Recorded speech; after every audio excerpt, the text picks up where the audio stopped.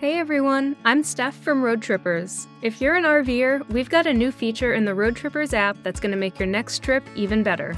Roadtrippers Plus now helps you find safe routes for your RV.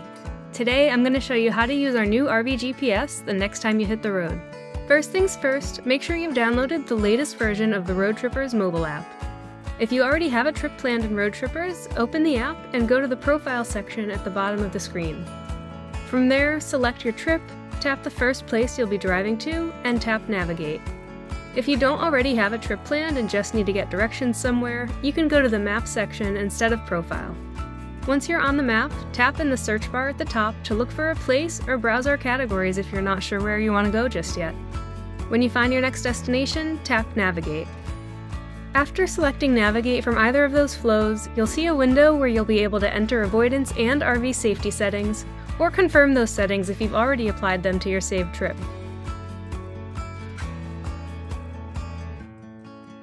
Make sure that Roadtrippers is selected as the navigation app, and then tap the Select Route button.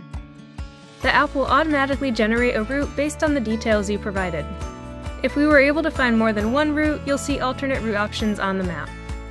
You can tap the Steps button to preview the turn-by-turn -turn directions, and click Go when you're ready to start navigating. And that's it! With our RV GPS feature, Roadtrippers will help you map out routes based on your RV's height, propane restrictions, and avoidance settings, so you can find the safest roads for all your RV adventures. So what are you waiting for? Download the Roadtrippers app today and start exploring.